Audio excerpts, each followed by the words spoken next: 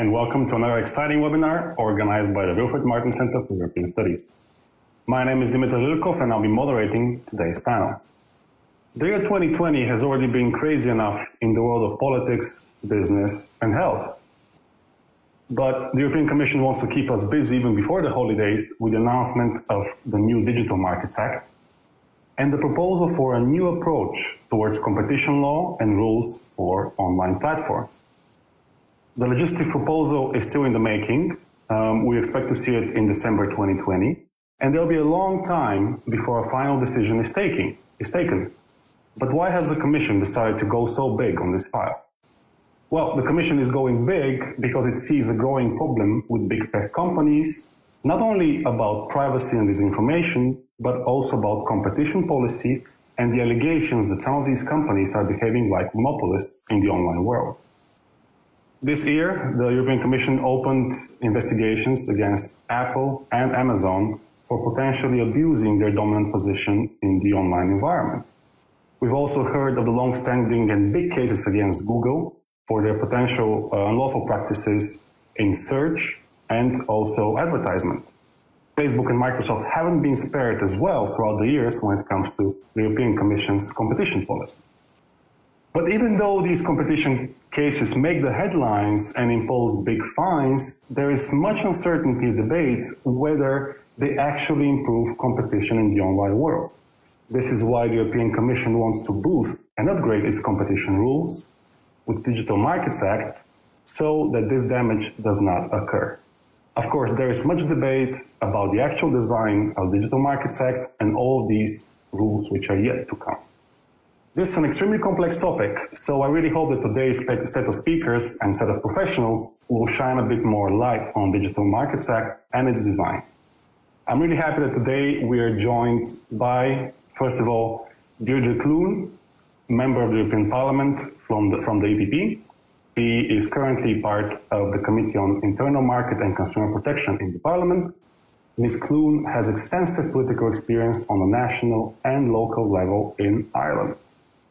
We're also joined by Hosuk Lee Makiyama. He's the director of ECIPE, the European Center for International Political Economy. Hosuk is also a fellow at the Department for International Relations at the London School of Economics. And lastly, we are joined by Eline Chivot. She's a senior policy analyst at the Center for Data Innovation, focusing on technological policy.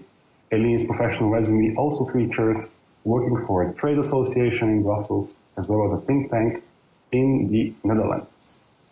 A couple of uh, house rules before we, we begin. Uh, we will try to keep this debate open and understandable for a non-technical audience.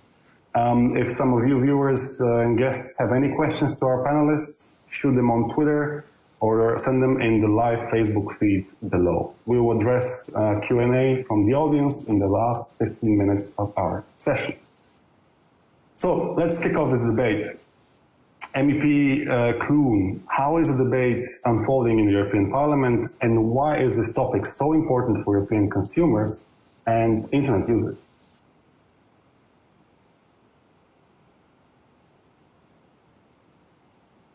Microphone, please. Fatal mistake number one. It happens all the time. No, I'm sorry. Thank you. Thank you for the opportunity uh, to contribute and uh, to this debate, which I suppose we are, well, it's somewhat in the dark because we don't have the proposals from the Commission yet, although we have many, many, um, uh, well, she's spoken herself, and there's many assessments of what will be in the legislation.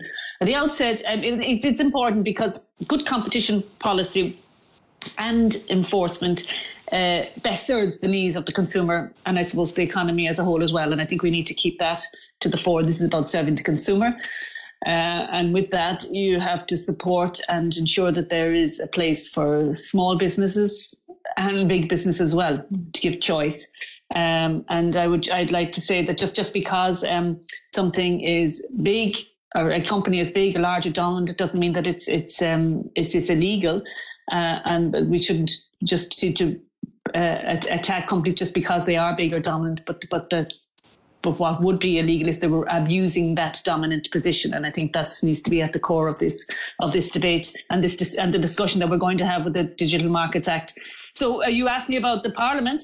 And the positions there at the moment, well, the Parliament um, end of October last month uh, had finalised in plenary a, report, or their initial report on the approach to the Digital Service Act. The Digital Mar- Market Act wasn't um, really uh, analysed at that point, but there, we have looked in our in our report at a number of areas that we would like to see addressed um, in terms of competition and um, mani- potential manipulation or abuse of, of dominant positions. Basically, at, at, the heart of it is to ensure that the single market continues uh, to operate as, as it done successfully since its inception, since the um, uh, the development of the e-commerce directive 20 years ago now has been good for small businesses across Europe, allowing them to operate across borders. And in turn, that's good for good, good, good for consumers as well, as well as national economies and European economies. So one of the points in the committee's reports, we believe that the, an ex-ante mechanism should apply uh, when competition law is, is, is not sufficient to address market failures. And um, that would mean that at this point you would address or you would identify practices and procedures that are that would be deemed to be illegal and anti-competitive. Um, that we want legislate any legislative measures produced to be evidence-based. Uh, through in, in, impact assessment and based on factual implications um, and based on relevant data and statistics. And I think this is very important if we are going to move forward in the area because it is a big question and we need, it needs to be evidence based and, and, and, you know, we need to define what is exactly a systemic operator and it must be on the basis of clear indicators. So these were form part of the Parliament's position uh, that we had adopted. And I said that it should be a closed list of, uh, not, not necessarily a closed list of, of, of, a closed list, sorry, of positive and negative actions uh, should be in, in place. Um, we uh, are are really uh, concerned. Looking forward to the, the, Commission's proposal as well because we believe that, um, uh, it, as I say, it should be based on on um, on evidence, and we'll be looking, looking we'll be looking forward to that. However, um, uh, we set up, um, and however, we recognise that you know that that just because, as I say, a company is big doesn't mean that it should should it, that it contributes to market failure or is negative for the consumer because the consumer actually does benefit from a supply of services and just because a company is large um, should shouldn't be uh, we need to take that into consideration that it can be good for consumers. It's also a platform for small businesses uh, across Europe to um, to operate. But in in time times when we see we see evidence or we hear evidence of, of stories where um, data is being used or abused, preventing data to be shared with business operators on the platform. Uh, we saw in the Commission's uh, statement last week when they uh, opened their case against Amazon, concerned about data not being shared ac- across the platform and uh, using using data that they do have uh, to uh, introduce or to work against uh, would-be competitors that are using their platform. So I think all these areas we need to examine. We need to tread tread carefully, but at, at the centre and at the core of all our deliberations and discussions, particularly when we're dealing with the with the Digital Market Act, will be to ensure that competition is allowed to flourish. That small businesses, large businesses, and micro businesses as well are allowed uh, to to operate in a fair manner uh, because ultimately that's good for consumer. Any uh, competition essay that you read or uh, uh, discussion that you hear mm. always has in mind that, that competition is, is, the basis for consumers, and we've seen it in many areas how competition really benefits consumers. So that's, I think, what I would say about the Parliament's position is we'll be, open, we'll be approaching this in hope to be a fair, even manner, but at this, at, at ultimately delivering what will be uh, a, a, fair uh, market for consumers and those businesses that serve those consumers. Fantastic. Thank Fantastic. Thank you for this, this opening. Just to quickly jump in, um, Deirdre mentioned uh, ex ante rules. Just for our audience to, uh, to highlight that ex ante rules, these are rules which are set up and have to be enforced before a market failure occurs. And this is one of the goals of, of, of this proposal. Uh, and also there was a great introduction about uh, potentially abuse, abuse of, of, dominance of position, abuse of data. And maybe the Commission is hinting that it will provide us with a list of uh, do's and do nots um, for, for digital companies. Eline, you want to jump on on this? Microphone, please. That's a classic. Thank you. And thank you, Dimitar, uh, for this invitation. Thanks to the Martens Center. And um, yeah, thank you uh, to uh, MEP uh, uh, for, uh, for the points that uh, she made. Uh, yeah, definitely happy to jump in. Um, first, uh, just a quick remark that it's almost gone unnoticed, but the Regulatory Scrutiny Board has raised concerns about the DMA in its opinion a few days ago. Uh, so we're looking at a timetable here that is very challenging and, and maybe rushing things wouldn't be reasonable, especially considering that the analysis required should be uh, sophisticated and it's not, which is quite disconcerting. Um, one issue at, at, heart of the DMA uh, proposal is that because the problems associated with online platforms and the online economy are hard and global, we tend to look for easier, convenient answers um, and are going for solutions that everyone understands. We understand what it means if they break them up. Uh, it's clear and easy, and that was done before with Standard Oil or AT&T in the US. The problem is that the commission has to address it. How do you react quickly to so many things that you consider being issues, yet have due process. And there's a lot of political pressure for regulators to act and make B2B fairness laws, and, and the DMA is part of this broader um, movement.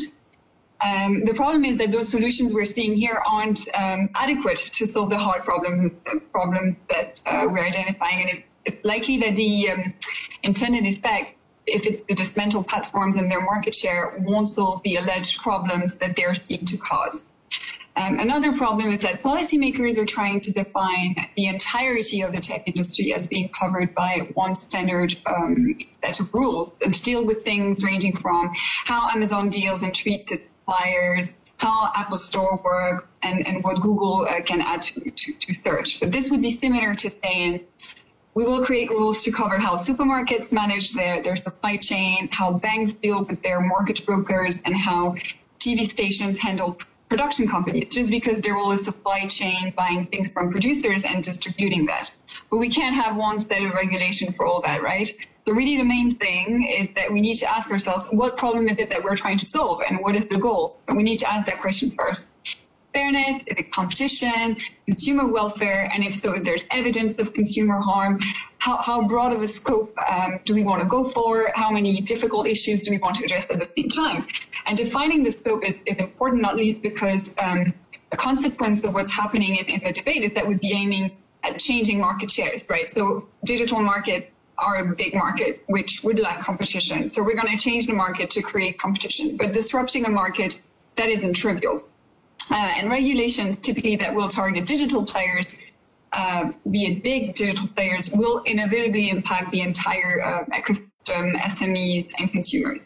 One issue also is about regulatory coherence and overlap. For instance, where is the evidence that there needs to be a second regulatory intervention before having evaluating the evaluated the effects of the, the platform to business regulation that just came into force in July?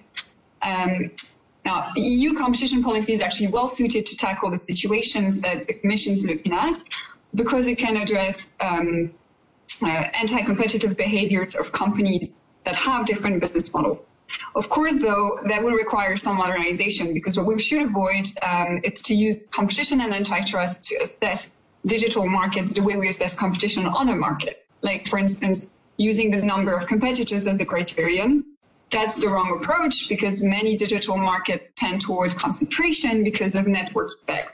That can actually drive efficient outcomes for all, be pro innovation and pro consumer because a lot of those uh, services remain free to, to consumers. Um, now, what the alleged issues and obligations or prohibited practices, what they stem from, uh, is an old view, a narrow perspective of digital market specifics and a misunderstanding of how um, digital business models work and how, how um, uh, competition operates on digital market. Uh, just a few examples. You know, we have the reference to gatekeepers as a, a handful of platforms, like it, auspicious term to use, but, but like it's one species. But there are many different types of such platforms, but not just four or five, but more than that. And they have diverse uh, business models, which makes it difficult to talk about one single category. And if you have some practices that are prohibited, they might not apply the same way to all of them. Another example is when we talk about self-preferencing, bundling, and um, tying practices, integrating different activities uh, within one platform doesn't necessarily have a negative effect. Sometimes it can actually increase the capacity of online platforms to deliver uh, diversity of, of, services to their business users, like app developers, or even for them to compete with each other. Uh, and self-preferencing depends on the context. It can drive many businesses to innovate and to stand out from others. And there are also benefits for users. Many startups, just to add, have succeeded because of the free or low cost um, services that these platforms can provide. So it's like this type of personalized ad model that allows Facebook to provide apps or tools for free and level the playing field for businesses. And the current cost for startups to start a business in the current ecosystem is quite low. And so here, the message that policymakers would be sending is we're disincentivizing you to grow, we're discouraging you to scale up because this is what may happen if you grow too much and go beyond a certain threshold. Uh, so how do you grow bigger companies in Europe when you have that as, as a mindset? And also, um, with respect to data related measures, another example, if the problem is the amount of data that a platform holds and that, you know, an instrument of market power, what is it that you mean with data? Also, let's not forget data sharing and uh, interoperability of data are complex issues. There are issues of uh, uh, IP, data protection, privacy, uh, security, and interoperability standards. Um, de- demands um, are, yeah, these, this is not straightforward for all. So just to finish on this, um, uh, the regulation I think should be targeted at measures that you know prevent innovation and like to to avoid innovation and, and, and enable better access to the market, not targeting measures that companies that are big or from the US or have whatever background or are in a particular sector. And finally, maybe rather than applying the precautionary principle even to antitrust, we should focus on um, incentivizing a climate of entrepreneurship in Europe, embrace innovation, strengthen the single market, um, reduce the fragmentation uh, and not adding red tape, and maybe case by case assessments uh, guided with basic principles of, of competition policy and targeted remedies with codes of conduct and you know when all players can participate in their respective markets the participative antitrust would be a better direction. Um, thank you very much for uh, yeah, your attention let me let me thank you very much for this this opening. I, I just want to quickly uh, follow up on your on your remarks. Um, in the beginning, you mentioned that the Commission and the European Union already has the competition tools and the antitrust provisions which it can it can employ um, in, in these investigations. But however, uh, we've seen them applied throughout the last decade. We've seen big fines, but these investigations also take a long time to finish. By the time one investigation is finished, another one is opened um, there's much concern that these competition rules, they were written in times when we used pagers and fax machines. Don't you think that this comprehensive upgrade is actually timely and we, the digital environment has changed? Yes, but if you have, uh, say, ex ante measures, uh, that will also take a significant amount of time and it will be quite difficult to find evidence of consumer harm before, say, a particular service is launched. So I think we will be solving the delay issue with these measures. Okay, Hosuk, what's what's your take on this? Guide us through the complexities of the Market Act. Thank you, Dimitar. Uh, I'll perhaps start with what I don't think the issue is. What's not my take? You asked for my take, and I'm going to tell you what my non-take is. Uh, I don't think it's a question whether whether we need regulation or not, because I think, at least to my knowledge, no one here on this panel is an anarchist. Uh, I hope no one in this audience is. I think we all recognize that we need regulation. Why do we need regulation? Because we need to avoid market failures and abuse.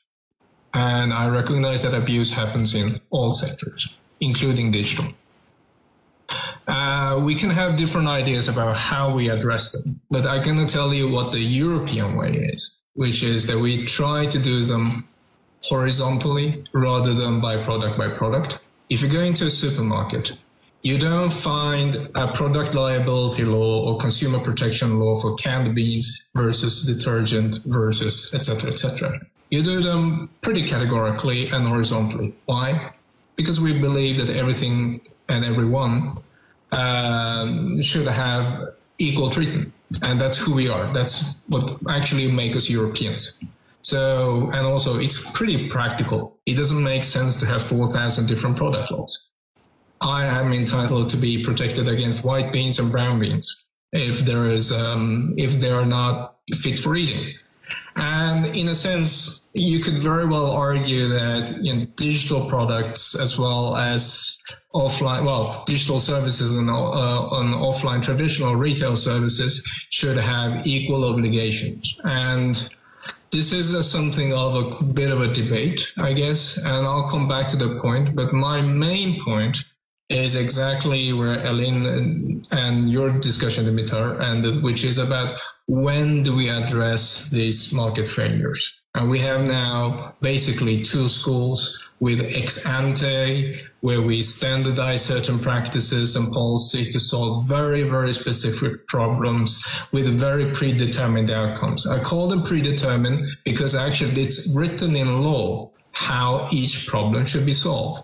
If you provide a certain type of service, you cannot do certain things regardless of whether you're small, you're big, you're left-handed, right-handed, if you're American or if you're domestic or if you're Belgian. It doesn't matter. This is the nature of ex ante rules, at least if you're non-discriminatory. And in other words, we have a pretty much predefined formula on how we are going to solve the problems. And that is not really uh, perhaps the most efficient way to uh, solve problems. First of all, regulators tend to be you know, they have cognitive and confirmation bias. And this approach is highly prone to manipulation by lobbyists and vested interest groups who have a very strong political influence rather than consumer interest. There's a very interesting writing on ex ante regulation by OECD that says that you have to basically do them on a very few limited cases. For example, when you have an unbearable cost of failure, like death that's why buildings have building codes, ex ante. There are certain materials you just can't use. And in certain profession, you have qualifications, doctors, and some of them are even licensed. And these are basically high risk activities that justify singling them down out. Can we say, honestly, just because a service whether we are talking about travel booking or whether we're talking about retail or whatever, whatever it is, searching for stuff, whatever you're looking for online. Is that a high risk service with an unbearable cost of failure? I'm just put the question out there. So, in other words, there is a very high cost in going to ex ante rather than ex post, which is what we how we Europeans normally do things.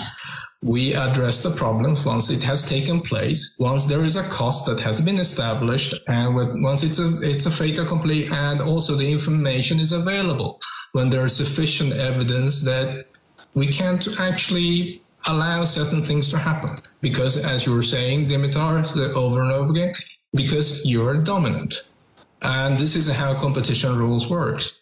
And but the problem with ex ante is basically that it creates, or actually not just ex ante, all kind of regulation. The number one reason why we are actually, uh, actually number two reason why we are uh, imposing regulation is simply because, well, uh, aside from avoiding death being number one, there are also unacceptable moral distribution of income. So if we benefit one particular type of companies, Germans versus French, or one kind of industrial sector against another, we would basically step off and say, hey, this distribution, you are unfairly advantaged, and we cannot actually have this. This is one of the main reasons we have competition policy. Now, I'm clearly of the view that all problems more or less can be solved ex post when it comes to simple things as non-critical services like information service. Which song I listen to on Spotify is not going to kill anyone except a few brain cells of mine if I listen to bad music, which I very often do. But in short, the unacceptable distribution of income is really just a question about offline to online or sometimes European to foreign.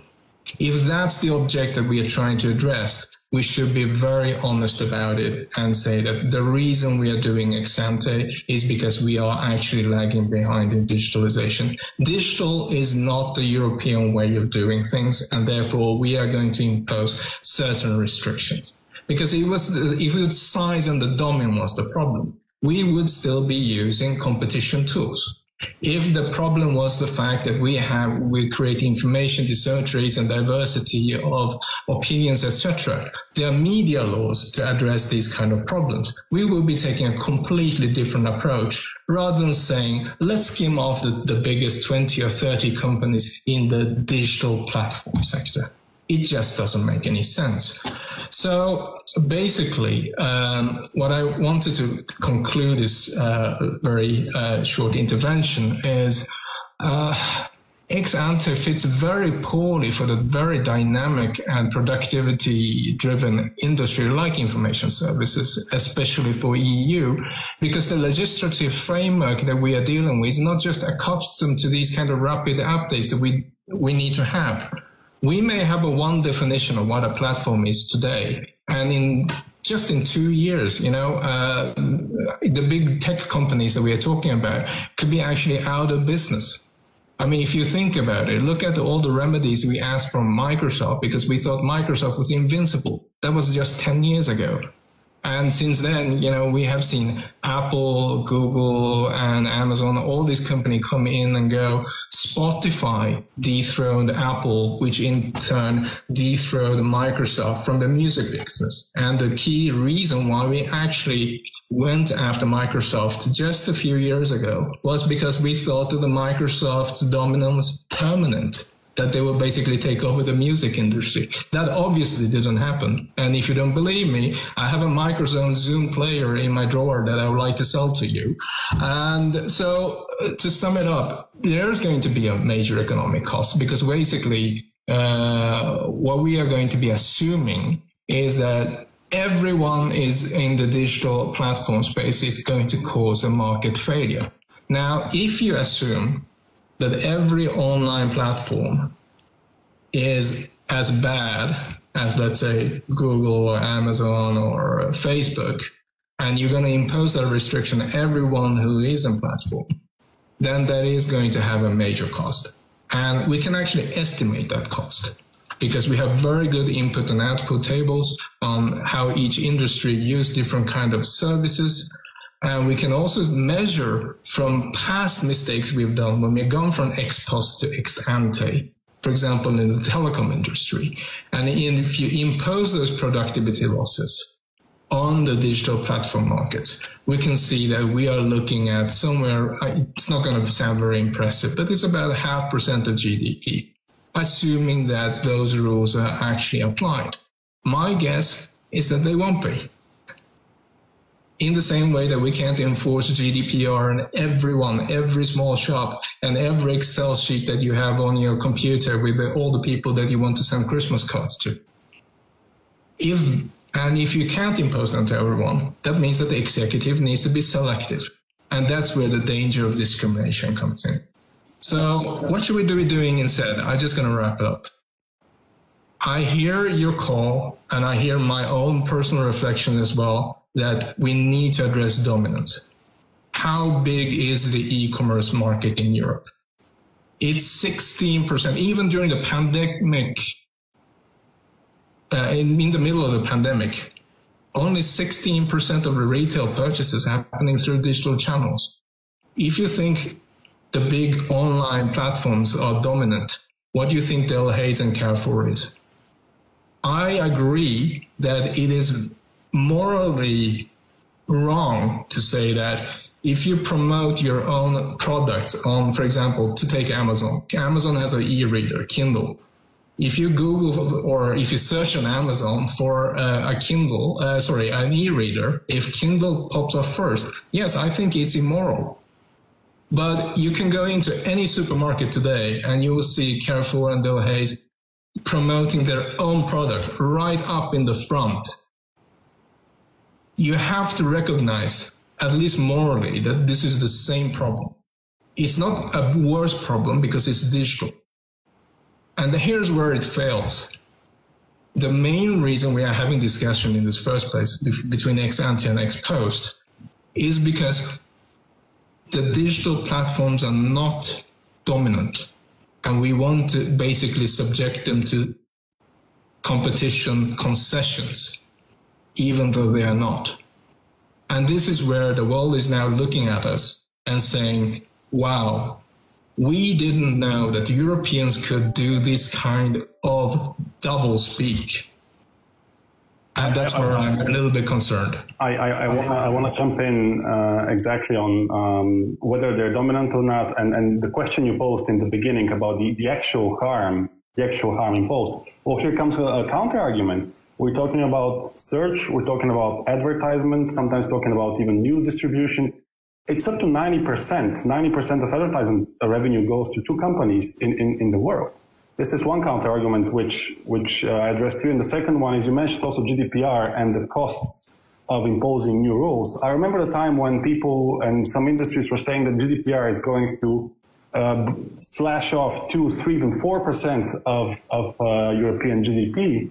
Uh, but that didn't really happen. And GDPR, maybe it's not the best success story, but it didn't have such a painfully negative effect on the European economy.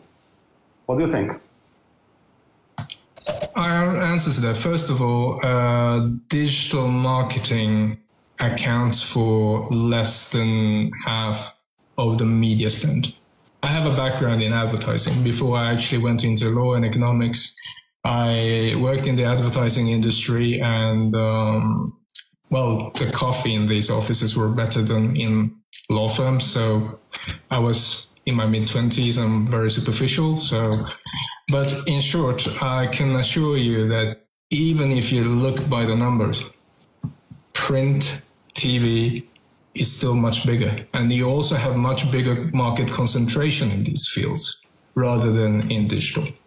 So, in other words, yes, if you look at by distribution, I mean, if you look at one distribution channel, for example, an online advertising platform represent, it may look very dominant if you actually look at that particular segment. But no one is singling out and say that, hey, actually, we have a de facto monopoly, for example, in radio advertising. No one cares about that. I mean, if you narrow it down very close enough, you're going to find dominance. And this is actually one of the problems that the uh, European Commission had in some other cases. So, for example, in order to make a case stick, I believe it was against Android uh, because you, they couldn't actually prove that Android was dominant. They had to call that Android its own market. Android is, of course, going to have 100% of the uh, the Android market. And this is the kind of convoluted thinking that we are actually engaged in because the competition policy doesn't really work. So I would refute on the point that, you know, yeah, yeah, 90% of search goes through the biggest search engine. And this is actually, you're highlighting a very good question, which is that our way of dealing with competition, the tools we have, because they're so legalistic, they're not actually very fit to address not just network effects, but are, these are temporary monopolies. These doesn't exist in our competition tool vocabulary uh, it barely does in actually any jurisdiction because we're struggling with them. Exactly for the case that people in this sector are dominant maybe five to seven to 10 years, or maybe even shorter. Let's see how long Spotify lasts. But okay, let, short, me, let, me, let me stop you right there because I don't want, want us to, to dominate the, the discussion. Anything, Clune, you, you have a comment, I guess? Yeah, I just just like like if I comment, I mean, I this is the discussion and this is where we're forming opinions. But just on the point of uh, of, of dominance, um, I think that's really going to be a question that's going to be have identified. Are there do- dominant players in the market that do influence competition? And you know, in the unfair trading practice directive, there are issues there that are, if you like, blacklisted in terms of an ex ante approach. If you want to compare like that, so I think you know it has happened before. Um, and and I, the, the, commission did say in comments recently, she was that commissioner Vestager was asked about this issue of ex ante, and she said because she finds that she cannot deal with it, uh, with, with she cannot prove um, issues. It's very hard to deal with it from a digital point of view, and she feels that ex ante would certainly satisfy a lot of concerns there. Uh, and you know, I think from, from that point of view, I think you were going to see in her legislation, if it comes in the second of December, in see in her proposals in ex ante provision there. So um, uh, and regardless of whether whether uh, we think it's it's good or bad at this point. So we'll be looking at it really closely to analyse it, but uh, see what's based on facts, if it, if it stands up, and um, if there are, and to, as I said at the beginning, to identify what are dominant or gatekeepers or sy- systemic platforms. I think we need to to def- define that. And um, I've been thinking a lot about this, your your, anal- your anal- analogy about the the supermarkets. And um, you know, you think of small businesses or small products who can't get themselves on the shelf of the supermarkets. Probably similar that they there there are dom- dominant um, uh, operators in in in in grocery in grocery in our grocery chain in the in the supermarket area. But the consumer always has the option to go across the town to another to a competitor who probably have um, a different range range of supply. So there are we don't have any one dominant supplier in, in the area. There are a range of large suppliers. So um, I think, you know, any, any area we go to, we can see we've learned from competition, we've learned from dominance and how if you keep the consumer, the small business at the center and allow them to have access and to, to flourish, I think that's that will be central um, in all our thinking in this legislation when it comes forward we've we've fleshed out many many many uh, issues here. Eline, any any comment on that on some of these points? Yeah, um, thanks. Um, um, I, I, wanted to get back to you first your your remark on the GDPR. Uh, of course, it's it maybe hasn't been the disaster that uh, stakeholders had expected at the time. Uh, but if you look at some surveys, uh, the trade association Bitkom regularly does those surveys among uh, companies uh, that are members, the biggest German trade association, I think. Uh, and yearly, since the GDPR's implementation, and if done one before the GDPR came into force, you had, um, I think last year, um, 74% of respondents that mentioned that they thought data protection requirements were the main obstacle to the development of new technologies. And before the GDPR came into force, it was less than half percent, I think 45% in 2017. Uh, also, you, you do, you, you know, it, it, has imposed additional costs on, on smaller business. Um, in terms of compliance, uh, you know, you have companies that might have hired lawyers uh, instead of engineers and developers. Um, and I think we've seen, we've published a few things on that, uh, you know, about how, you know, some mergers didn't go through, um, that, um, you know, you had a decrease of venture deals uh, for some uh, startups in Europe. Uh, you had also an impact on, re- reduced competition in digital advertising. Uh, and you know, the resources are limited for data um, protection authority. Uh, they are struggling because we have this deadline of 70 hours reporting, you know, under which companies have to report if they there's a breach or if they suspect there's a breach. And to be on the safe side, because of the potential fines that they would be facing, companies prefer to report, but then you end up having big data protection authorities, including the one with a large budget, like the Dutch one or the French one, complaining that they just can't handle everything. So um, I think this is if you want to have a, a law or, or something you want to regulate something, it's important to make sure you have the appropriate resources and skills to deal with that. And with the DMA, we might run into a similar issue that you know you don't have all these people necessarily right now at DG COMP or in other authorities that couldn't make it you know to enforce the law properly. Uh, to get back on the, the issue of dominance, um, yeah, it's an interesting um, example I've, I've I wanted to add something about if you take the example of Instagram and YouTube. So Instagram is big, YouTube is big, but one could argue that it's not because they belong to Facebook or Google respectively. They have, in the end, their own market strength and their brand image. So it's quite distinct from Facebook and Google, at least to consumers. So they're part of, say, a conglomerate, but they aren't bundled. So it's more like a natural monopoly, if you will. Talk about monopoly. So breaking up or, disintegrating wouldn't necessarily have the intended effect. Um, and also let's say TikTok. Um, TikTok is like YouTube, but not quite. It's that other thing. Does TikTok worry about YouTube? Well, it's it's that other thing. So how can we apply antitrust theory to to this? What are we worrying about? Uh, think of IBM. They, they don't have competition in mainframes, for instance. No one worries about that.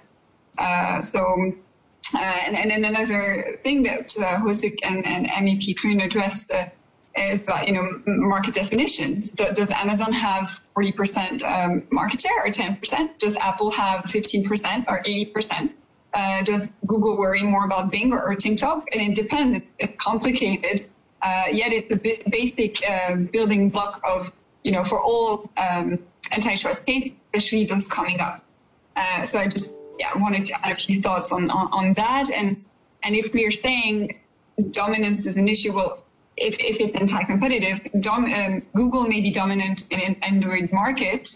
Um, yes. Is, is it in the smartphone market? If you include Apple, maybe not. So you could argue also Google and Facebook are competing with each other uh, and with television when it comes to ad uh, revenue.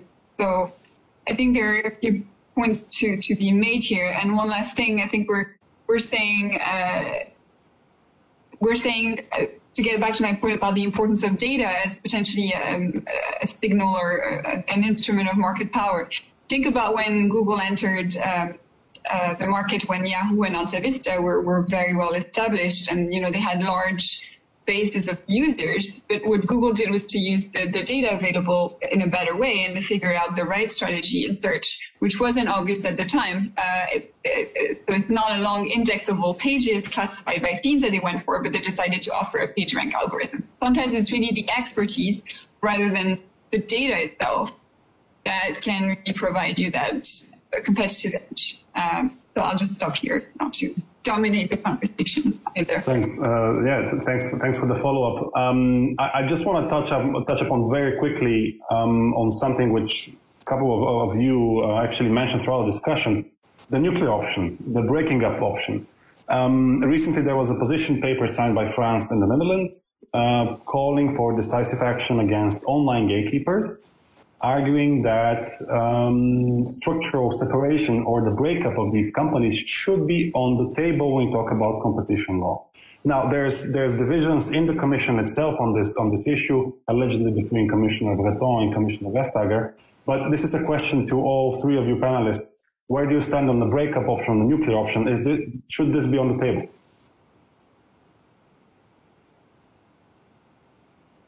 MEP Clune, yeah. Hard to be on the table. I, am not convinced that it should. I think we we've a lot of a long way to go before we we need to need to see evidence. And um, personally, I, I don't think we, we, we need to, to, we're not we're not at that point, and we need to define we need to define things like what what we mean, what is dominance, and and as Eline has just said, is it based on um, is it based on expertise or your data? I don't think we have those answers, and we have that information. So I think we tread uh, move very carefully and cautiously. And, we, and, and again, I go back to the point I made at the beginning. Dominance is ne- if there is dominance. at one point, I'm saying we need to define it, but if there is, it's not necessarily a bad thing. I mean, if it offers the consumers a good service and, and options in whatever domain, but um, it's in the abuse of the dominance is, is, the issue rather than dominance. So I think um, we need to really tread cautiously on that one. I'm not convinced myself. Okay, tread, tread lightly. This is your advice, okay? Uh, Eline or Hosuk, do you want to jump on on this? Just briefly, um, um, thanks for giving me the word again. I, I, think it's, I mean, you shouldn't use competition policy for retaliation and a political agenda. And even Executive Vice President uh, Vestager said this is, you know, this would this would be something quite radical. But there, I don't, I don't think that she's thinking about it. Um, you know, and when they try to do it. Um, it didn't always work. I think for AT&T that you know another monopoly uh, emerged in the end. I, don't recall the name, but um, so I think the way we should be thinking. Uh, you know, there's one way to think about this is conduct remedies, and the other one is structural remedy. Conduct remedies have been historically the way in which regulators have approached this. For instance, with the Microsoft case, the way it was using its, power over Office and Windows against competitors, and Microsoft fixed it. uh, structural remedy would have been to break up Microsoft somehow. And this is the last resort that's been used for AT&T, uh, but antitrust authorities have not embraced that until until rather recently. Um, so, and also just one last remark: uh, if you break them up, I mean, are they going to be better at tackling issues we see online? Uh, we see how it is very difficult when addressing just you know few actors to get them involved into a code of conduct. You can't control the rest of them. Uh, you can't subject them to similar uh, control. So this is very delicate to imagine. That It would be better if you had uh, multiple Facebook. And also think, I mean, maybe this is a bit of a side note, but uh, you'd have Facebook and Headbook, you know, Facebook. So uh, is that going to be convenient for me as the as the user? Also, if you have an Amazon page with Amazon products and then multiple pages for all the other providers, all the other business users. Also, can you short comment on the breakup option?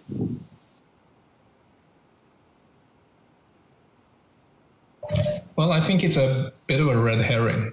Uh, I'm wondering if that option is put out there just to, you know, destabilize it, denormalize the debate, and just to show, you know, it's, it's a classic trick of lobbying where you know you put an extreme option on the table in order to push the needle as far as you can go towards the direction.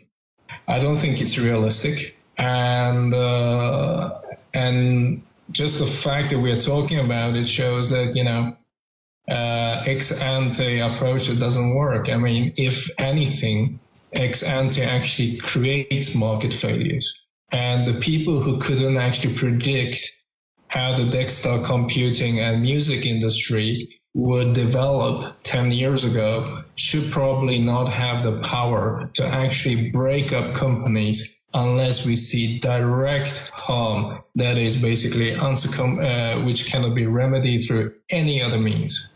So I'm with Eileen on that point. Uh, very quick follow up because right now we, we just had a question on our live stream and I think it's directed to you. So maybe 30 seconds. Um, would you consider that potentially killing democracy could be an argument for life or death type of ex ante? I think he was referring, the, the, the guest is referring to your, your question you posed about the severity of the situation. So, killing democracy, is this what at stake? Question to you. Well, I don't think giving people a voice on social media, for example, if that's one of the concerns, is killing democracy. I think it's strengthening the democracy. The problem is that the established voices like us in this room cannot win against very nasty opinions out there because it turns out that once we let go of the, the opinion monopoly, we actually tend to lose debates to people who don't share the values of, let's say, an honorable organization like EPP. That's a completely different problem. Uh, who kills democracies?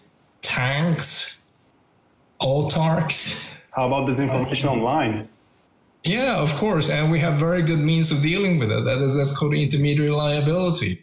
And we have also means of actually stressing that through uh, libel law, and uh, the problem is uh, is a completely different kind, which is that we don't know who puts out these nasty opinions because people are anonymous online, and to the further extent that we want, we would like to we would like to actually safeguard that. So let's look at the ownership concentration, for example, in traditional media, and that has not been great for the diversity of debate I can't be on television tonight just because I want to and put my opinion across. That's real dominance. Um, we have uh, another question. But just to, well, yeah, yeah, please go ahead. Media, I mean, you, you raised that, you raised that earlier. It's just a question struck me. And we do have various media outlets that allow different voices. So um, we don't have one. We'll, well, I suppose we we have competition law again in the media to try to, to control dominance. I think it's, um, and you know, depending on your views, I'm sure that I know, and where I where I come from, there's always a media are obliged to to give both sides of an argument all the times. well, certainly the broadcast media. We we have a question on our Facebook page, and I'll, I'll also like to bundle it with with uh, another question of, of, of mine it's, it's, this is open to all three, three panelists, so feel free to, to jump in. Um, Hendrik asks, since the digital services sector and especially social media platforms are extremely global, how important is it for the DMA to align with other non-European uh, regulations? Um, I mean, that's a big question, but also I want to add in my, my, uh, my take here. How closely do you think the Americans are going to be following the DMA? Um, the Department of Justice in the States recently started another investigation on a big tech company. Um, there's been numerous reports from US authorities about gatekeepers online, about potential monopolies online. So do you think the debate in Europe is going to also shift legislation and concepts with the new Biden administration? Open questions for the panel.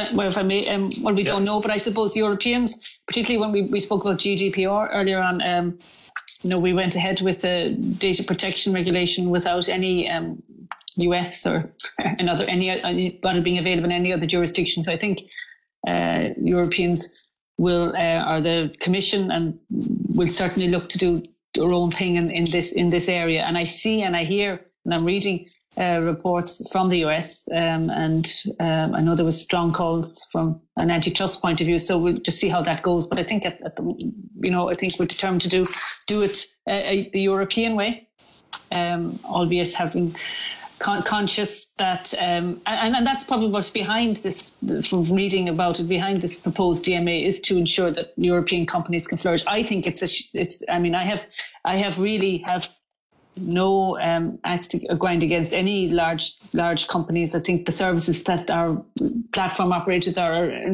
are very valuable, and consumers flock to them. And I wonder if many of the consumers out there, the 450 million European consumers, if we knew we were having this debate about um, maybe potentially breaking up large platforms, would they be too pleased? I think that's something that maybe I don't I don't think that they would be. But you know, I think this is about support, ensuring that European businesses can flourish well. At the same time, we need to balance it and need to have a fair a fair approach to the whole thing. Thanks, uh, Hosuk. I think you raised your hand just now. Uh, well. Um I think we need to bear in mind two things. One, when it comes to US approaches, and frankly, as Europeans, what happens in US is not really my concern. But yes, there has been uh, antitrust investigation in the US by the Trump administration. Let's see where Biden administration goes. That's, I mean, there there is a certain element of I may be called that I'm wrong on this by Democrats or Republicans or Trumpists, but there seems to be a certain element of personal vendetta going on against um, tech companies who are usually seen in the US as left leaning. Uh, so that's the first. Uh, the second is we point exactly to the question that we are discussing here.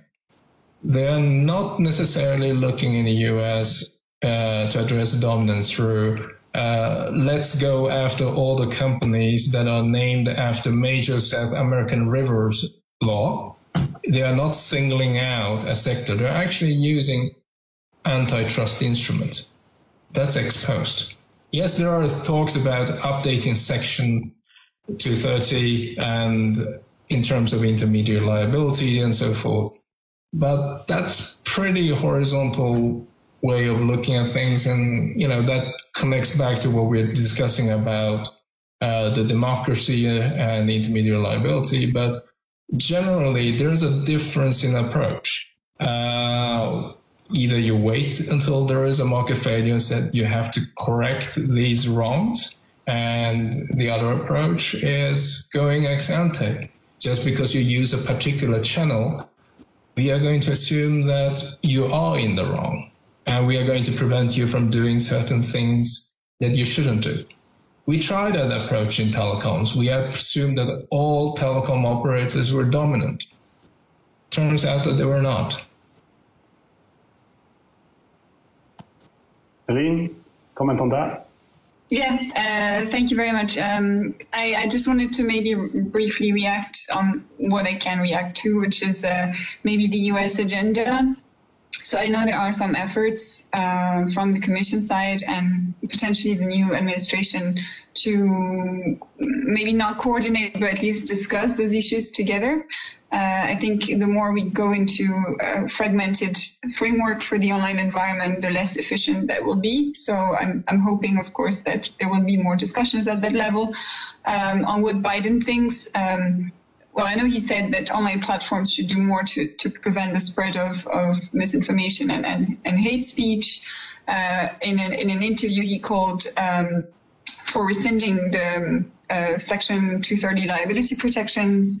Uh, so he thinks that um, they should be revoked, but I don't. I don't necessarily expect that it will be the case. Um, there might be bigger fish to fry as well. Um, and the, the campaign of Biden um, did circulate a petition calling on Facebook to remove false uh, content, uh, content uh, um, and um, and such. So I think there is yeah, there is going to be um, maybe a tighter grip on, on online platforms, but um, yeah, we'll see. Uh, we'll see what, what happens. And on the other point, I think um, that was about the, how you know what's going to happen if you have a set of rules in Europe. How will will there be alignment in general with other jurisdictions? I think what the EU should keep in mind is. Um, generally enforcing one country's restrictions on, on online content that's generated outside of, of a particular country will lead to infringement of freedom of speech, of freedom of speech, and might limit access to information.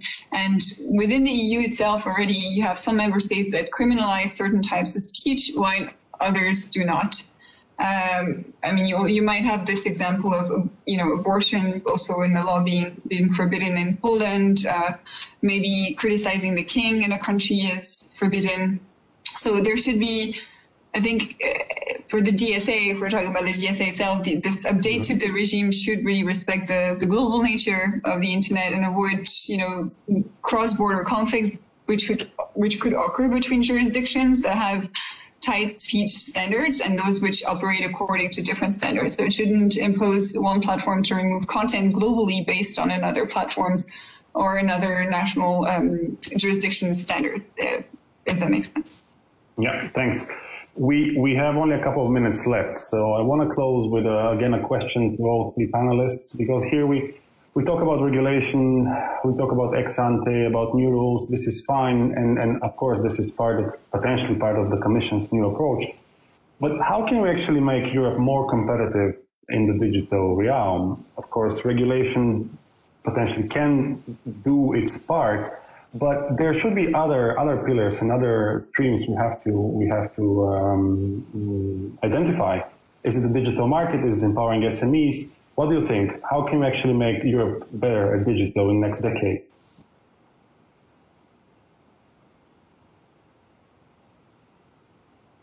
I'll start. Go ahead. How can we make it better? Um, I certainly don't think eliminating competition and breaking up uh, uh, com- companies for, from, from other jurisdictions is, is, the way to do it. But I just think creating an environment whereby SMEs can flourish. I think in our, I don't think we have a history of um, in our education system. Uh, I think that that that will be important. But I certainly think we need to create the the environment where um, um, where uh, where SMEs can flourish and investing more, maybe unicorn capital, that type of thing, to look look at that area. Do we want we want our unicorns? That's what we what we do want. But I think and I think we just need to try not try, but to create that um, that environment. And our um, there is talk of a, a new industrial strategy for Europe, and I think that should be part of it. Thanks, Eline. Well, thank you. Um, and thanks again uh, once more for having me. Um, I think the EU may have other priorities to address because it's missing the key ingredients to to compete in the digital economy. You know, you want to have that large consumer domestic market, which is declared in theory, but only you know it's still fragmented. Uh, you have diverging IP laws, uh, etc. So, and I think what we're seeing risks leading to decisions based on perception. So there might be discriminatory mechanisms in place. Um, and I think regulators, though they have noble intentions, sometimes they may be unable to know ahead of time how far innovation can go or will go. But what they can do is maybe to create a, a framework that doesn't pick uh, winners and, and, and losers. Uh, I think it has become convenient to pull out antitrust laws uh, in response to every tech issue, for instance, but it hasn't made the EU more innovation friendly or more mindful of actual consumer need. Um, so, um, yeah, thanks again. Thanks, Eline. Also, closing thoughts? Well, uh, I'll tell you what won't work. Uh, we won't become more productive by slowing down the productivity of everyone else. That's not an approach that works. So this is, I think, the reason why I think people are so aghast outside of Europe. They couldn't believe that the Europeans could go this far in just trying to get, yeah, I mean, just uh, just by addressing our inadequacy, just by imposing regulations that discriminate others. And this is the fundamental problem what we are discussing here. Dimitar, you challenged some of the numbers about GDPR, and uh, here, here's the thing. Productivity is not a tax that you pay. You don't see the money going out of it. These losses that we are talking about, they were there uh, the only reason you don't see it because rather than making 100 euros, you're only making 99.5. You don't see the difference. But over a long term, over 10 years and 15 years, you will see that because you'll suddenly find that, hold on a second, what happened to those European innovations? And I can prove that because you only have to go 15, 20 years back in time just to see that the industrial planning in Europe made some horrible, horrible calls that actually cost us the competitiveness. It's not because the other people were cheating. It was because we were looking the other way. We stuck to the approach of increasing basically supply and supply as much as possible. Deirdre was saying herself, we don't have any problems with dominance as long as it's big factories. Tell you what, the future was not in aggregating supply. It's in demand. It's in actually the power of the consumers and the users. And the more demand you can aggregate, the more successful you are. And so, in other words, we laugh about some of the policies that we did 20, 25 years ago. Tariff some videotapes from Japan that could only be custom cleared on a mountaintop in France. You know, you can Google for it or whatever your favorite search engine is. We did some really ridiculous stuff 25 years ago. Actually, it's more than that now.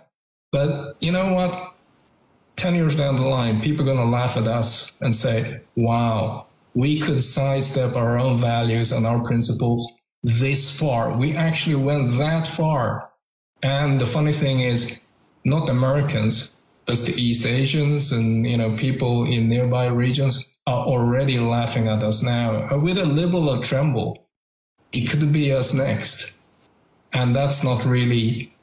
That's the main reason I'm saying that ex ante and this kind of approach that we are trying to invent and justify ourselves that's not the Europe I signed up for.